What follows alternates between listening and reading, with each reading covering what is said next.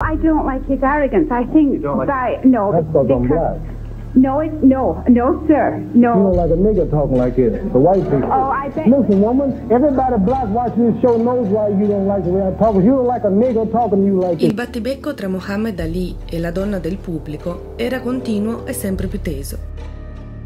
Listen, I'm in a minority in this country here. What- I'm, what's? What are I'm you? from England, and Oh, you're a minority. You from England. You own England. You own England and America. Ma quel che era stato usato come una difesa da parte della donna non è stato altro che una scintilla che ha acceso il fuoco di Ali. You white. You can go anywhere in this city you want to go. Are you from England? You more free than me. Mohammed Ali è diventato famoso nel mondo per la sua grande abilità come pugile e per molti è stato riconosciuto come il pugile più importante della storia. Nonostante ciò, i suoi incontri più difficili non sono stati quelli contro lo storico Joe Frazier, ma quelli contro il razzismo che l'ha accompagnato per quasi tutta la sua vita. And I always ask my mother, I said, Mother, how come is everything white? I said, why is Jesus white with blonde and blue eyes? Why is the Lord's Supper all white men? Ed è chiaro, mentre distruggeva i suoi rivali sul ring, combatteva anche contro il razzismo di quell'epoca.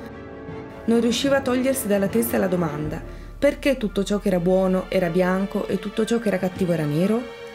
And everything was white. Santa Claus was white. And everything bad was black. The little ugly duckling was a black duck.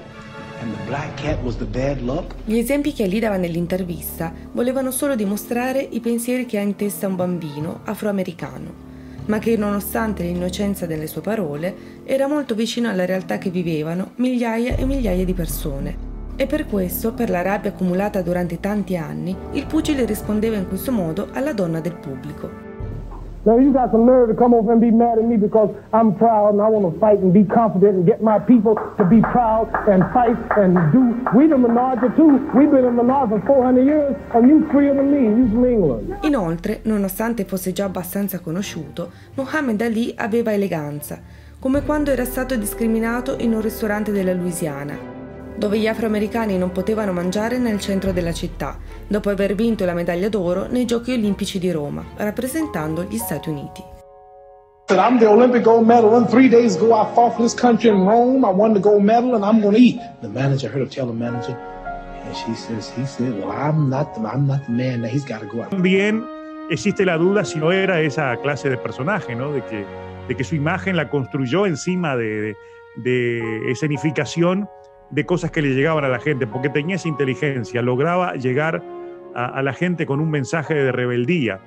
Y los años 60 y 70 fueron años de rebeldía. La cosa certa è che il multicampione ha lottato fino ai suoi ultimi giorni contro il razzismo e per le rivendicazioni degli afroamericani. Perché lì non affrontava Fraser o Sonny Liston, ma combatteva contro una società che considerava gli afroscendenti degli esseri inferiori.